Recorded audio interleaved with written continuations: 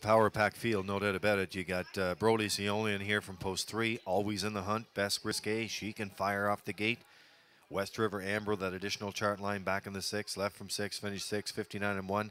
That makes up the field here today. The Sherry's Heating Service starting gate has them right now. It's upstairs for the race call. Here's Vance Cameron. First of two open mares on this Sunday afternoon, starting up Governor's Plate Week.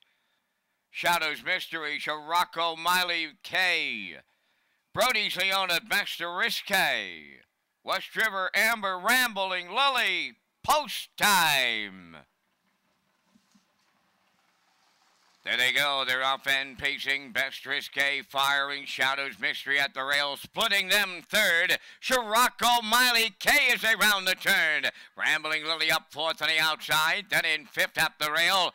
That's Brody's Leona and the trailer West River Amber. They go to the opening quarter, led by Best Risque. Second is Shadows Mystery. Third, Scirocco Miley K. Rambling Lily got his speed handed. In fourth, then in fifth is Brody's Leona and the trailer West River Amber. Early movement on the front. Kenny Arsenault right line. Shadows Mystery off a 28 second flat opener. Shadows Mystery now leading it. Second is Best Risque. There goes Scirocco Miley K underway third. Rambling Lily is fourth. Brody's Leona fifth. On the outside, the trailer. That's West River Amber at the midway point. A new leader. Scirocco Miley K for Berrio cleared the lead. Shadows Mystery is second. Opening half mile 57 and three. Rambling Lily's coming third on the outside. Moving up fourth is West River Amber. On the rail, Best Risque fifth. Now the trailer. That is Brody's Leona and Lily has taken over going to three quarters. Second is Scirocco. Miley K. Shadows Mystery third.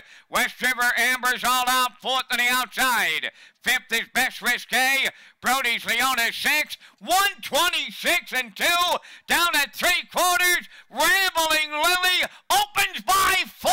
It's all over. Second is Scirocco Miley K. Shadows Mystery coming up the inside late third. But Rambling Lily does it again to double up Cheverie. Second was Shadows Mystery. Might have been Scirocco Miley K hanging on third. 155 and 1.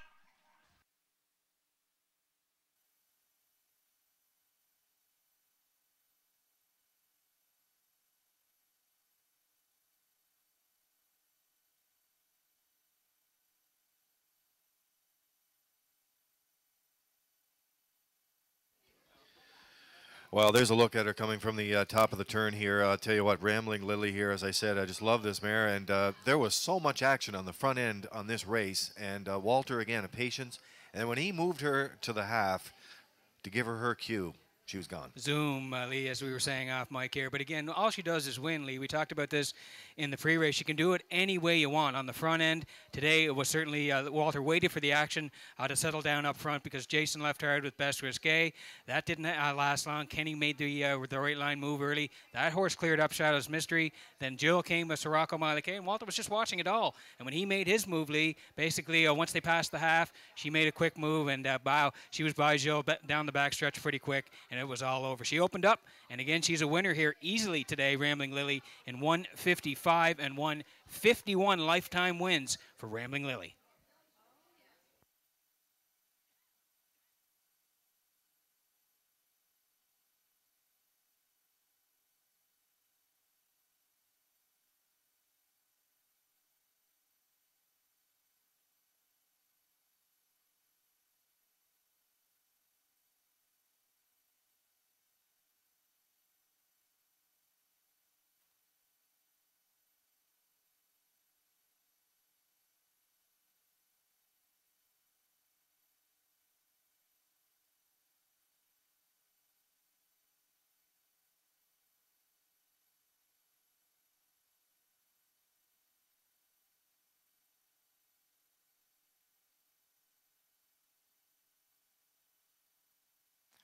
There's one word that describes Rambling Lily winner.